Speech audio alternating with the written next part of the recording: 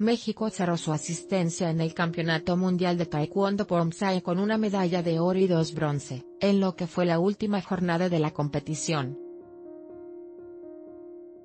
El título lo obtuvo Cecilia Lee en la prueba de freestyle individual menos de 17 años, y se apoderó del bronce en el Pomsai reconocido individual cadete, y esa misma presea en pareja mixta freestyle junto con William Arroyo. De esta manera, la mexicana culminó con tres medallas en la máxima competición.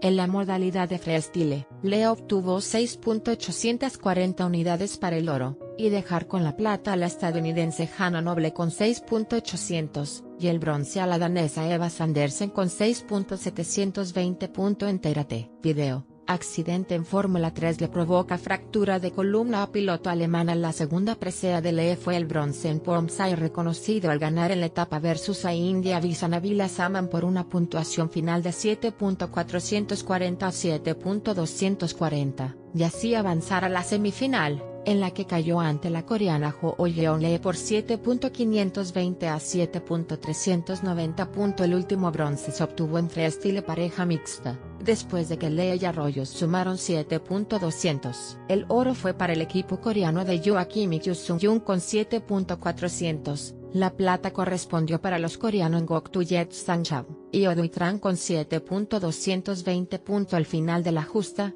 México obtuvo 11 preseas, de las cuales 3 fueron de oro, 2 de plata y 6 de bronce, y de esta manera superar lo hecho en Lima 2016, donde se obtuvo una de oro, 3 de plata y 4 de bronce.